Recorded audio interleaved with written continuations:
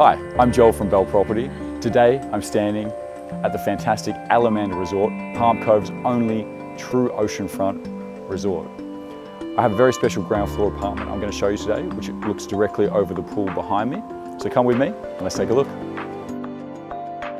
Delivering spectacular ocean views and inviting tropical breezes and a luxury ambience, this apartment in the Alamanda Palm Cove offers space, flexibility, an absolute beachfront location.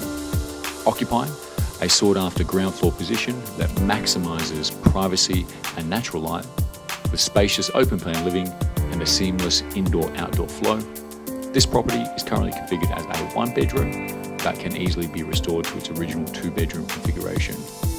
And with shopping, dining, and the beautiful beach all right on your doorstep, this sophisticated apartment provides options both lifestyle and investors. At a glance, generous patio overlooking the pool, Palmline Beach with gorgeous ocean views to the horizon. Open plan living, dining and kitchen spaces open completely to patio.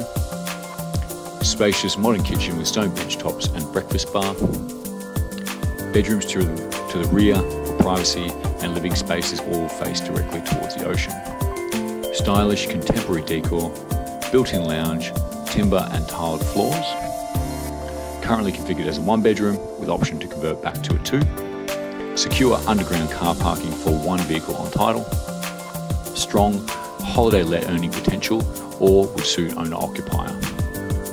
The resort amenities include three pools. One is an adult only pool, which is what this property looks out towards, a day spa, and award winning restaurant Nunu's. This property only metres from the beach, walk to cafes, restaurants, and the boutique, and puts everything of Palm Cove right at your fingertips.